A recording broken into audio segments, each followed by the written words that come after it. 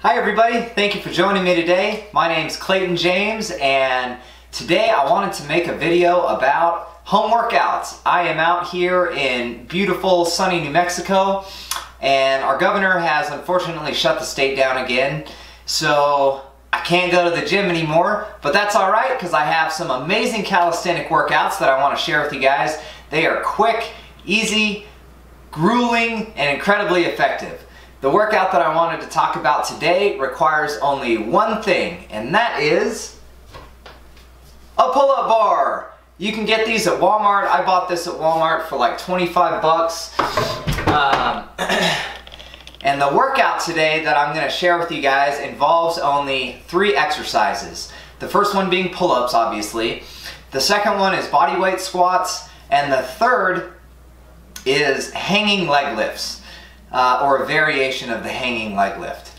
So before we get into the workout, I wanted to talk about pull-ups for a second. I see people doing it, doing this at the gym all the time and I'm just like shouting in my head, no, wait, there's a better way. I obviously can't walk up and that'd be rude to just walk up and uh, tell somebody they're doing their workout wrong in the middle of their workout, but uh, what I see people often doing is when they're doing a pull-up, they'll pull or lat pull down, they'll pull to their chin here. And the, the point of the exercise is to pull to your chest. And uh, one thing that I learned that has really helped me better engage and perform this exercise is when I'm when I'm hanging in a pull-up position, uh, obviously want to keep my core engaged, keep my core rigid, but you want to keep your feet in front of you a little bit, in front of your torso, and then lean back, tilt your back um, at an angle just slightly, so that way uh, when you perform the exercise, it's you get more lat engagement and it's easier to it's easier to perform.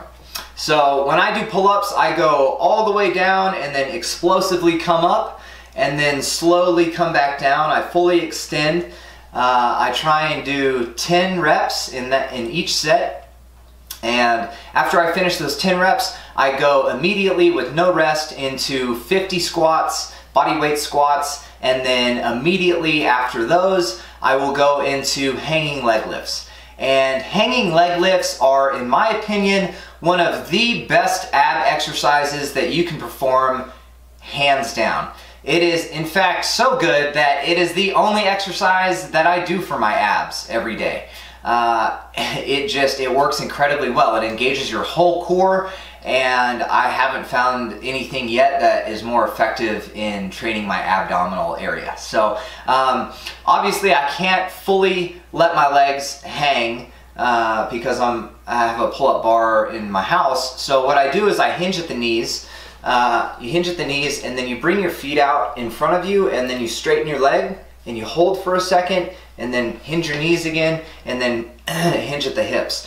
And You'll notice when you're performing this exercise that your body will have a tendency to uh, create momentum and want to swing or rock you forwards or backwards. And you want to try and avoid this at all possible. Uh, you don't want your body to swing at all. You want to stay as rigid as possible. So keeping your core engaged, fully engaged the entire time that you're performing the exercise um, is what you need to do to be able to do that. And it just wears my abs out. So after I get done with the ab exercise, I take a 30 second rest and then right back into two more sets. And I perform those three sets and the workout's done. It's quick and it's easy, but it is uh, incredibly exhausting for me. One of the things with my workouts that I try and do is increase my cardiovascular output. I love going hiking and camping and in-country backpacking. And so when I work out, I have in mind that I want to be able to to um, not get as tired out so quickly when I do go hiking or backpacking.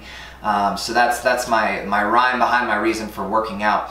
Uh, there are two more things that I wanted to talk about in regards to working out. These are two things that I keep in my mind um, with every rep and every set that I perform. The first is the mind-muscle connection. So let's say, for example, I'm performing a bench press. I want to keep my mind, my awareness on the muscle group that is performing the exercise for through the entire range of motion. I want to keep my mind focused on that muscle group. It helps me engage that area uh, fuller and have a better workout and keep my form correct and have less, uh, less chance of injuring myself. The other thing that I always keep in mind is making sure that I have proper form and posture.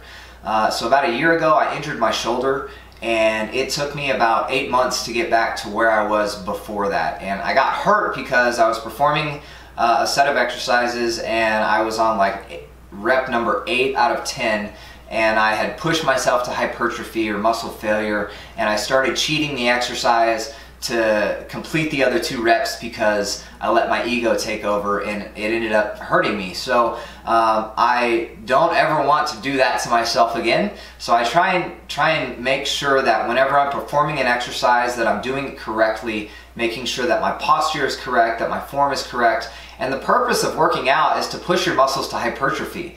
If you have a, set, a set number of reps that you want to perform in a set in mind, like say, well, for example, for these pull-ups that we're doing in this workout, there's 10 of them. Um, doing these slow explosive pull-ups are hard to do and you may not be able to get 10 of them the first time you do it or the second time or the third time or whatever. I don't know what your workout level is, but um, I certainly, when I started doing these, I couldn't do 10 at once. So if you can only get five or eight or whatever your number is before you push yourself to hypertrophy, that's awesome. Like that, that is you have accomplished the goal. You were trying to push yourself to muscle failure and you got there quicker. So pat yourself on the back. Don't get upset and let your ego take over because you didn't get all 10.